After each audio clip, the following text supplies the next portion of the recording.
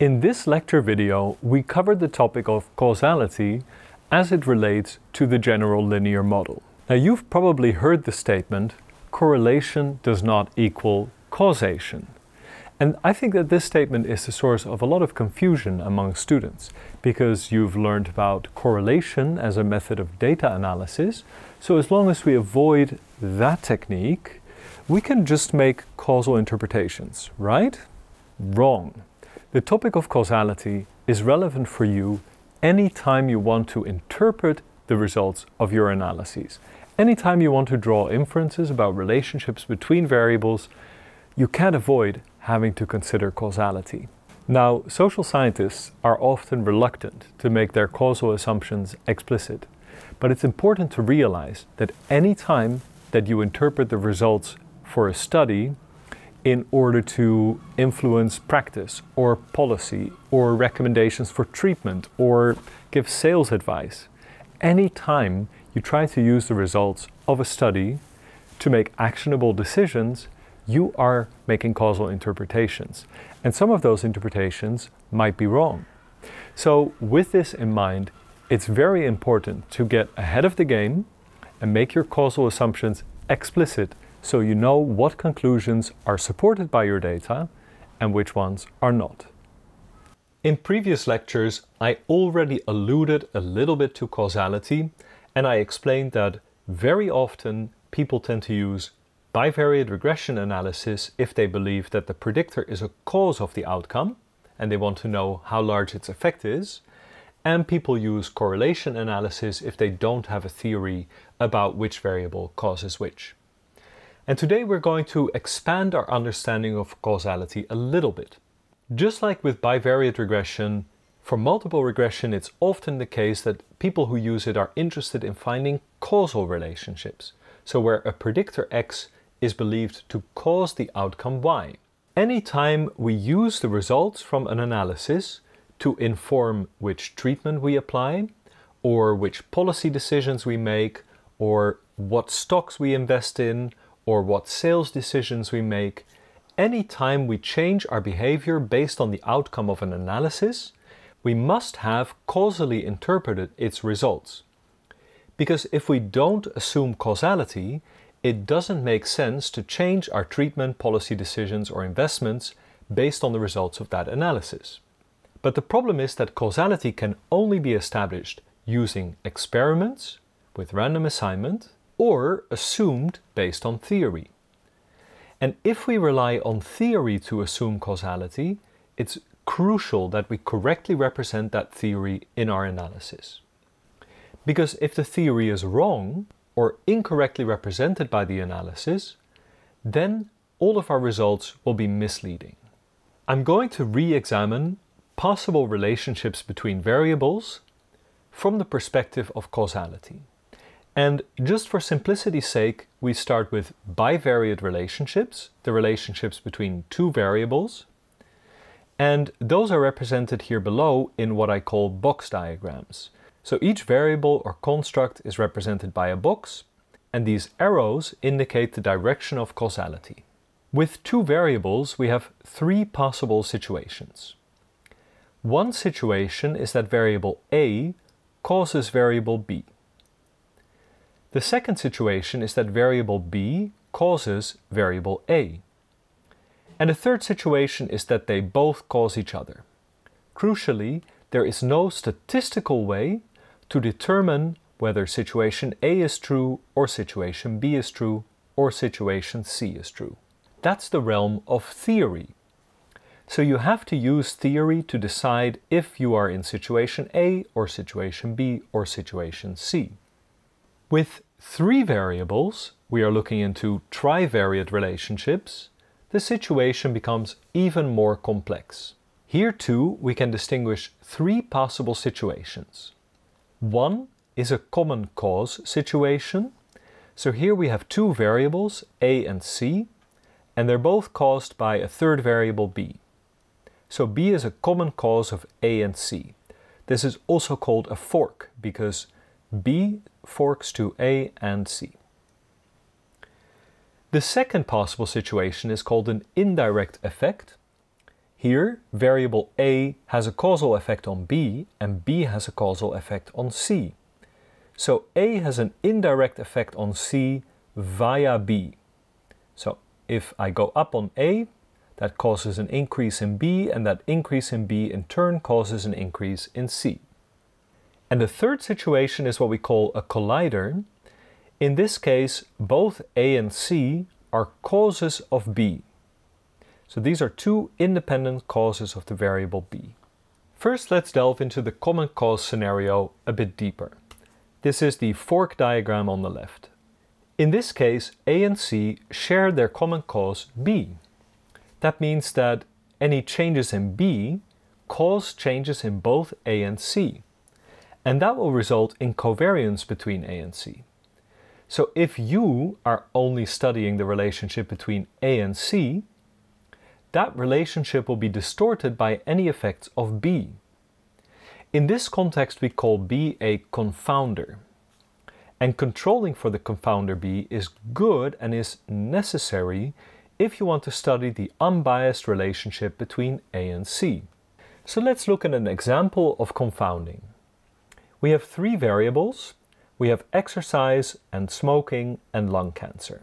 It's well known by now that smoking is a cause of lung cancer, but it may also cause a decrease in exercise because people who smoke tend to be out of breath more easily and people who smoke tend to have lower general fitness, so we would expect a negative effect on exercise.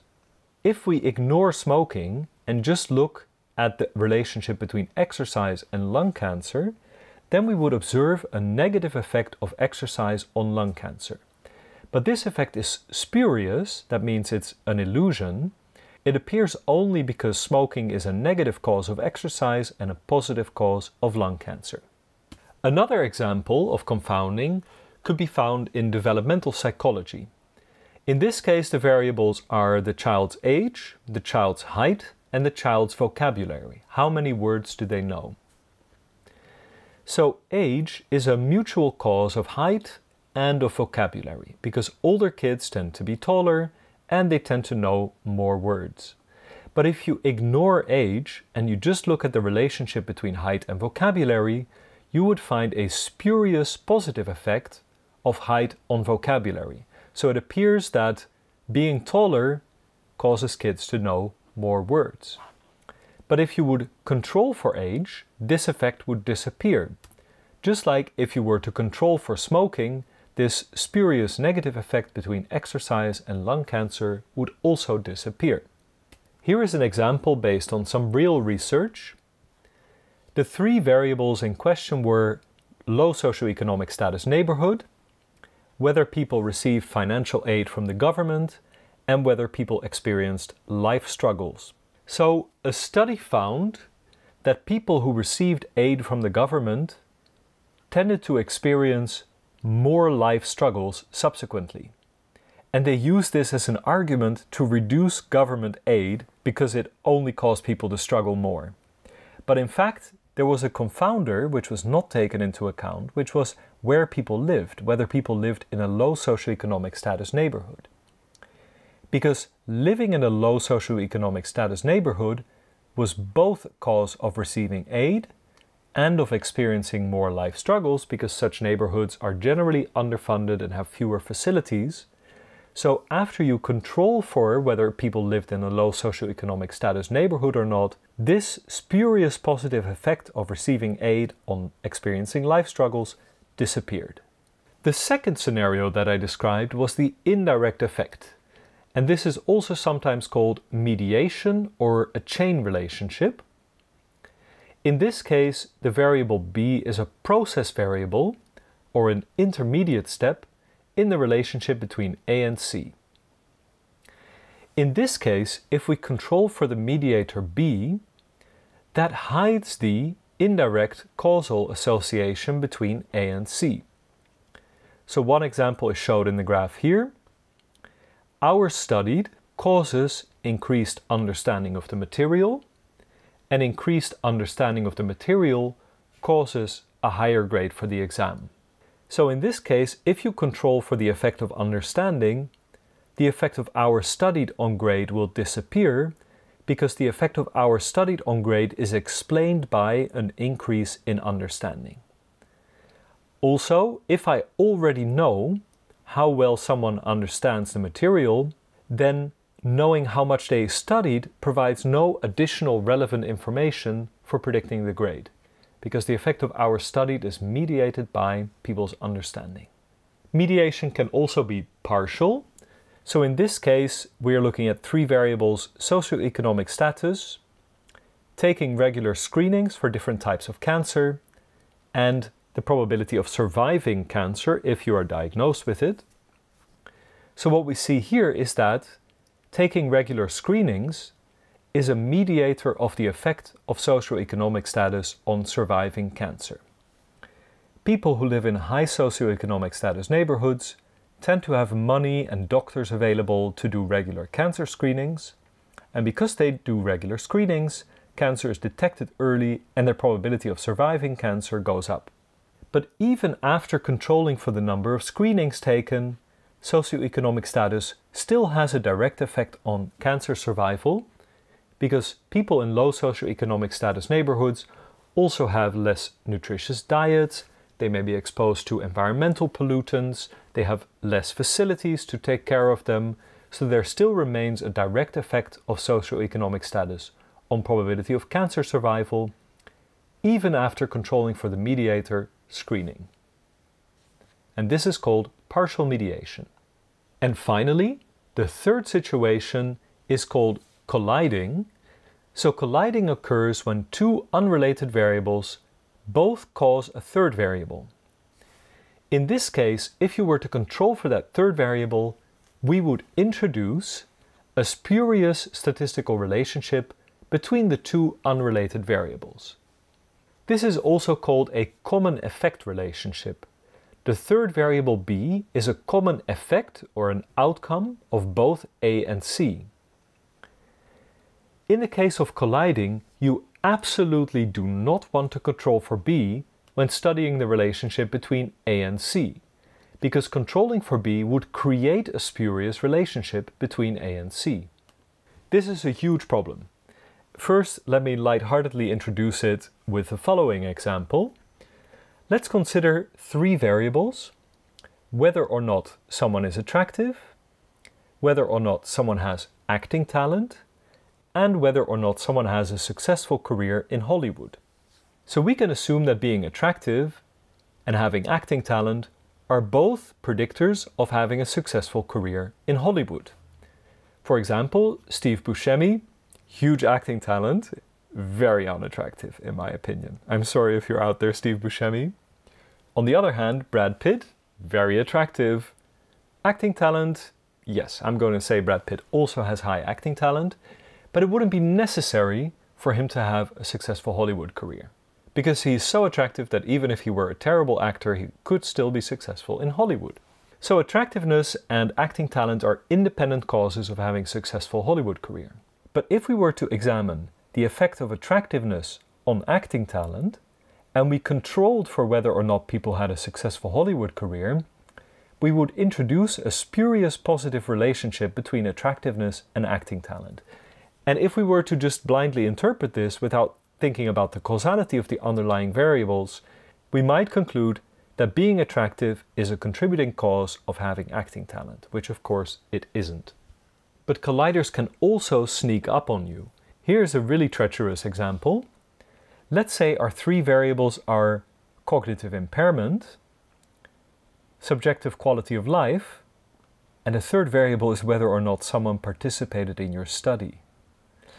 So you could imagine that people who experience a cognitive impairment are less likely to participate in your study because it's more of a challenge for them.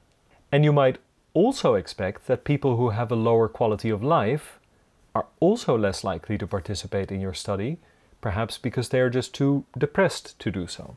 And that if this is the case, we would experience a spurious negative relationship between cognitive impairment and quality of life just by analyzing the data in our sample, because the data in our sample are already controlled for whether or not people participated in our study. So this is something you definitely want to give some thought to. In sociology, this is called a selection effect, and it happens anytime whether or not someone participated in your study is a collider of the effects that you're studying. So, this is just a brief primer on causality, and the main message that I want you to take home is that assuming that your model is correctly specified, controlling for confounders will improve the causal inferences you draw from your model, but controlling for a collider is a deadly sin and it's going to bias any causal inferences drawn from your model. So, don't just put everything into your model without having a very good reason and try to always draw these kind of box diagrams to think about the causal relationships between the variables that you studied and maybe even some that you didn't study. If you want to know more about causality, I cannot recommend Judea Pearl's book, The Book of Why, highly enough. It's just excellent holiday reading material, very accessible. There's also this blog post on causal inference and there is this paper, which is also co authored by Judea Pearl. It's called A Crash Course in Good and Bad Controls, and this lecture was heavily influenced by it. So, just to close, let's look at this cartoon from XKCD.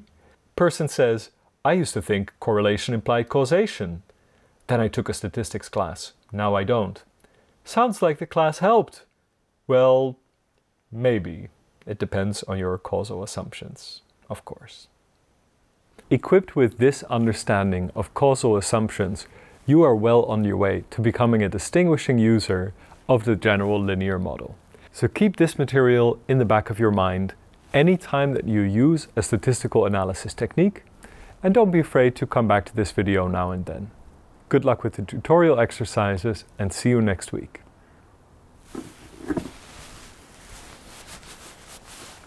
Hey buddy. Who's your buddy?